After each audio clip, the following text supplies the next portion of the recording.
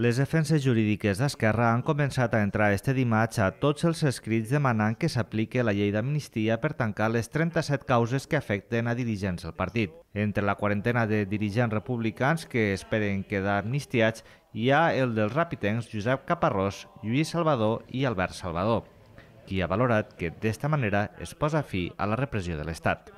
Eh, poder d'una vegada per totes acabar de manera efectiva en la repressió que el que fa és acabar és coartar no? la nostra voluntat i capacitat d'expressió de, de, eh? I, per tant eh, fa que juguem en, en regles molt diferents eh, respecte a la, la part de l'Estat que és qui exerceix aquesta repressió.